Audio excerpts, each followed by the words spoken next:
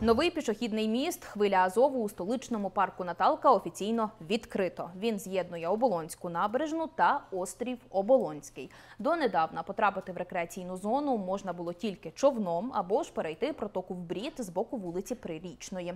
Про перші враження жителів та гостей столиці розповість кореспондентка ТСН Маргарита Потапова.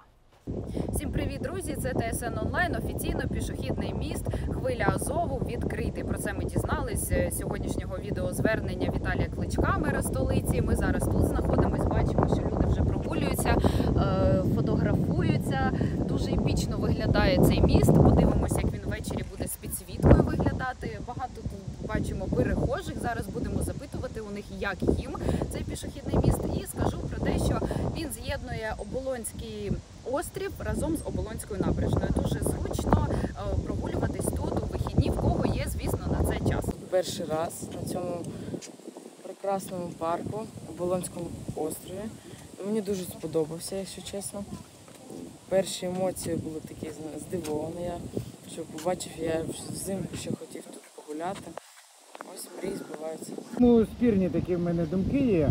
Але в цілому міст гарний, красивий, е, але можливо не на часі. Перше пройшовся дуже класний.